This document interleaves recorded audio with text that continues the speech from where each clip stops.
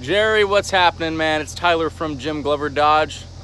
Here is a walk around video of that 2012 392 that we were just talking to you on the phone about. I'll give you kind of a whole 360 view of it, front to back to side, all corners and angles, because this thing is pretty. No modifications ever done, completely bone stock. Let you hear the 392.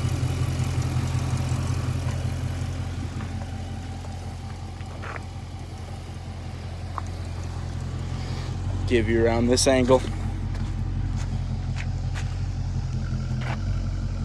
Super sharp. Here's the rear.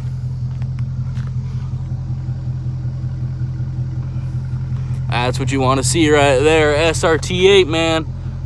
470 horsepower, 6.4 liter V8. Six speed manual. I'll show you the interior.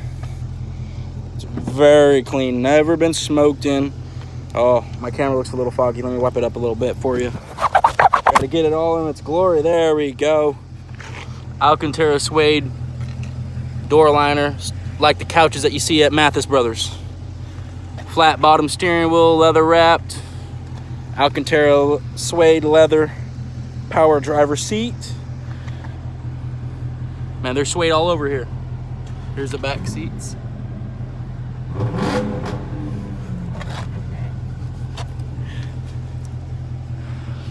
Whole bunch of stuff going on over here. Ah, here's the cockpit. It's kind of fancy in here, Jerry. There's the gauge cluster. Old retro look, awesome styling in here. Windows down. It's got nice tint. Give you a little blip of the throttle for you. Just a little, just a little tease, you know.